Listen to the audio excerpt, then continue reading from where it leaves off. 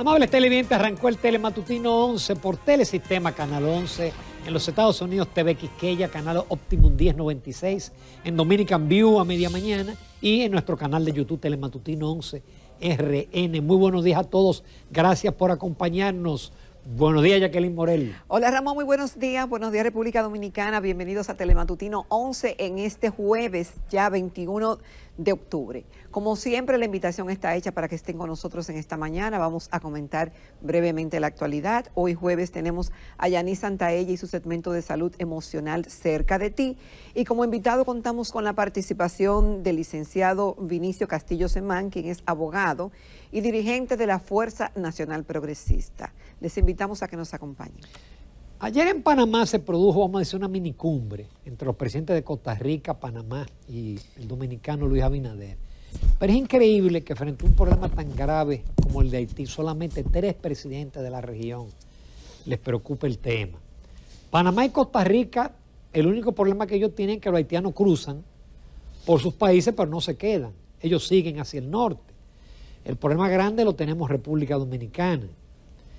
Ellos hicieron una serie de propuestas, por ejemplo, desarmar la población, imagínense. Aquí en el programa de desarme han entregado mil. Aquí siempre uno ve los titulares, refuerzan la frontera, más controles fronterizos, pero el mayor... la frontera. el mayor mentija a eso son las parturientas. Y si cruzan las parturientas, no van a cruzar cientos de miles de haitianos que te digan devolvimos siete mil. Pero ¿cuánto entra? Eso es como la droga. Cuando tú atrapas una tonelada de droga es porque han entrado cinco. Así es. Entonces, el problema es grave. Yo espero que el presidente cumpla con la construcción de la verja. Ahí hay una oferta de Israel de financiar un muro tecnológico. Porque si no, el mismo director de migración lo dijo, en 20 años habremos perdido el país sin disparar, sin, sin tirar un tiro. El caso de Haití, fíjense, 17 misioneros en labor humanitaria visitaban un orfanato. Entre esos eh, secuestrados hay niños, hay un niño de 8 meses, hay un bebé. Ellos exigen un millón de dólares por cabeza, lógicamente. La política de los Estados Unidos eh, eh, es no pagar, es no pagar, pero ¿qué va a pasar? ¿Están a merced de que los maten o de que los secuestradores se den cuenta que es inútil y, y, los, y los liberen. Eh, los Estados Unidos están hablando del FBI. Yo recuerdo que a raíz de la muerte de, Juvenal, del asesinato, mandaron un equipo del FBI. ¿Y qué hizo? Nada. Porque todavía no se sabe quién mandó a matar a, Juvenal Mois. Todavía no se sabe. Entonces, en un país donde las bandas son lo que lo dominan, ya usted sabe, no hay manera ni siquiera de que llegue la, ayuda. En Haití hay escasez de todo. Y entonces, ¿qué camino le queda a los haitianos? Tratar de irse a los Estados Unidos, allá no lo van a dejar entrar, entonces, el paraíso de la República Dominicana. Sí, pero aquí hay que tener controles eh, eh, que, no sean negociables, Ramón. Y justamente, mira, eh, el tema con esos misioneros está muy difícil Primero, eso va a alejar cualquier ayuda internacional a Haití porque nadie va a querer ir en labor humanitaria cuando te estamos haciendo un bien, estamos colaborando contigo y tú nos secuestras y nos puede matar, como ha ocurrido en el caso de muchas personas. Estados Unidos tradicionalmente, como tú bien has dicho, no negocia con secuestradores y la situación está difícil. Esa banda eh, que tiene un nombre raro, Mauozo, es peligrosa, pero opera hace más de 15 años en Haití y ha secuestrado a decenas de personas. Entonces, eh, la situación es ¿Tú sabes, difícil. ¿Tú sabes cuánto han secuestrado en octubre? En la primera eh, quincena de octubre. 119. Así es.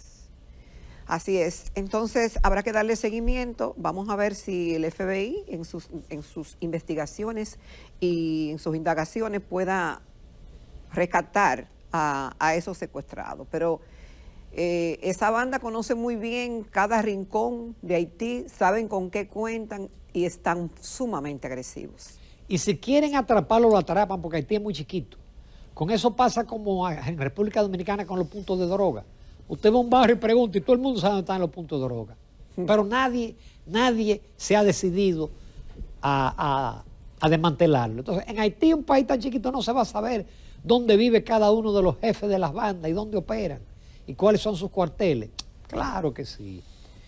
Por otro lado, eh, con el tema fiscal, hoy en la prensa hay uno de los periódicos, si me preguntan cuáles no recuerdo, porque como uno los lee todo no sabe dónde lee, habla de, de la falta de sincronización de los funcionarios. Yo creo que tú se lo preguntaste ayer al doctor Antoliano Peralta. De que Cada funcionario te da una declaración diferente con el tema de la reforma fiscal y eso es delicado porque eh, una reforma que de por sí tiene opositores y que nadie quiere pagar más impuestos y entonces el gobierno dándote declaraciones diferentes.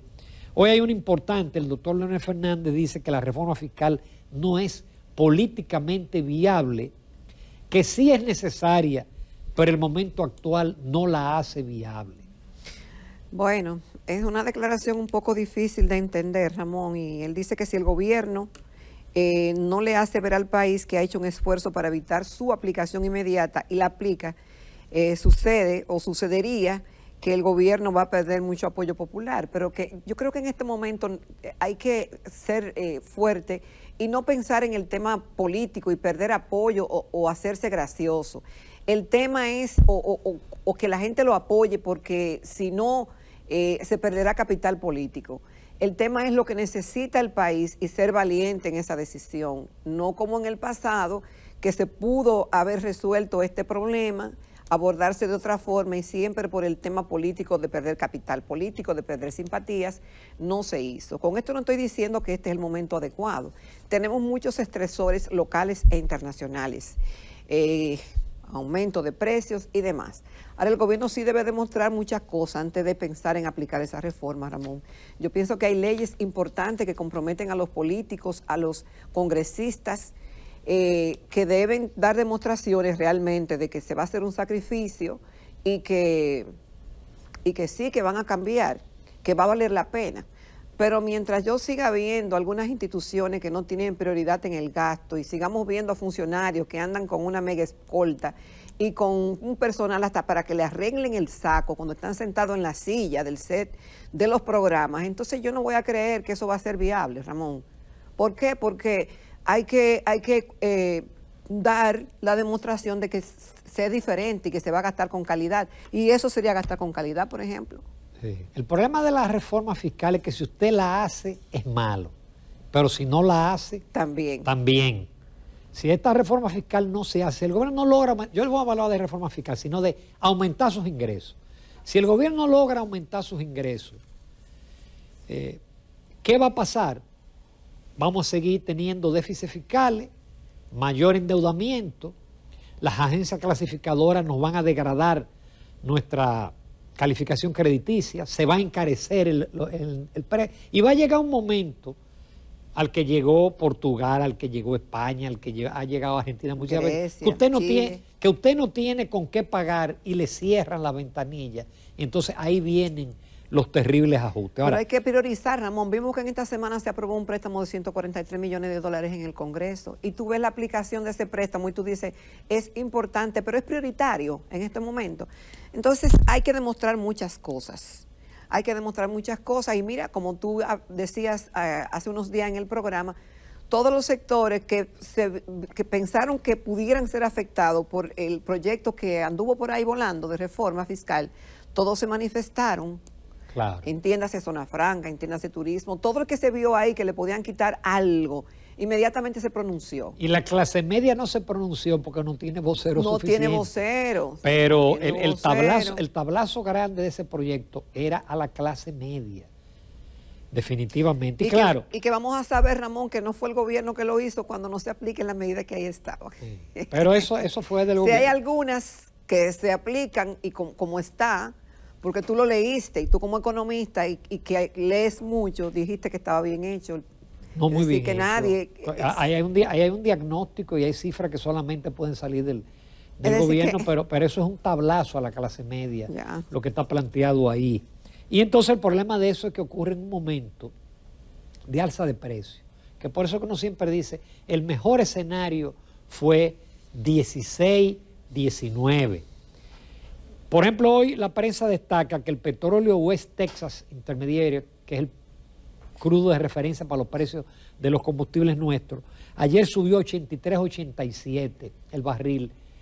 Se especula que en pocas semanas va a estar en 100 dólares. Pero ¿qué ocurre? El presupuesto para el 22 se hizo suponiendo que el barril de petróleo iba a costar 72 en promedio. Imagínate, eso hay que hacerlo otra vez. Y, otro tanto con, el carbón y, y con el gas natural. Y lo que se prevé el año que viene es una inflación. Hasta hay quien especula que puede haber una inflación de dos dígitos en los Estados Unidos. Entonces, usted, una reforma fiscal que sube todos los precios con esa situación, eso es un abril 84. Bueno, Ramón, y de acuerdo al, informe de la agencia AFP, eh, los índices de precios de los alimentos, según la FAO, aumentó 1.2 en comparación con agosto eh, a 130 puntos y a 32.8 en un año. Esto implica, por ejemplo, que en septiembre a nivel global los cereales aumentaron en un 2% con relación al mes anterior el precio mundial del trigo aumentó un 4% en un mes y un 41% en lo que va del año. Y el precio moderado del arroz también aumentó. En cambio, también el maíz aumentó un 0,3% en un mes y un 38% en un año. Esto nos da una idea de cómo andamos a nivel internacional con precios eh, de los llamados commodities que determinan los precios en cadena de muchísimos productos. Y eso no se detiene. Suerte que aquí la inflación medida por el Banco Central anualizada está en 7.74, la acumulada a septiembre en 5.88, nosotros vamos a terminar con una inflación como de 4 puntos y pico, que es, una, es un verdadero milagro. Por otro lado, ayer el ministro de Economía, y yo lamenté no asistir, porque los que tenemos pluriempleo, no podemos ir a, la mayoría de las invitaciones que nos hacen, y fue muy interesante porque él trató muchos temas, pero trató básicamente el tema del agua, que es un tema grave en República Dominicana. Él ofreció unas cifras que todos conocemos, pero que retratan la realidad del país. El 26% de los hogares dominicanos son los únicos que tienen agua 24/7. Y por ahí se va. 84% tienen inodoro, se pierde entre el 50 y el 60% del agua por problema en la tubería y el numerito que él ofreció es que se, va, se requiere, para usted tener unos parámetros eh, similares a, los estándares mundiales, hay que invertir hasta el año 36 8.565 millones de dólares, que son como 600 millones anuales, sin calcular la inflación de todos esos años, serían 35 mil millones cada año, solamente en agua. Bueno, hay una deuda social enorme. Cuando hablamos de modernidad y vemos que hay tanta gente que todavía no tiene agua en nuestro país y que no tiene energía eléctrica, sabemos lo mucho que nos falta para ser un país eh, desarrollado. Y entonces ahí caemos en cuenta de que usted requiere de más ingresos fiscales, porque para el año que viene lo que está contemplado en gasto de capital es 144 mil millones si usted le va a dedicar 35 mil millones solo al agua. Sí. Hoy las carreteras. ¿Cuánto quedan? Lo que quedan son 100 mil para todo lo demás. Para todo lo demás. Vinicio Castillo Semán es nuestro invitado, no se lo pierda.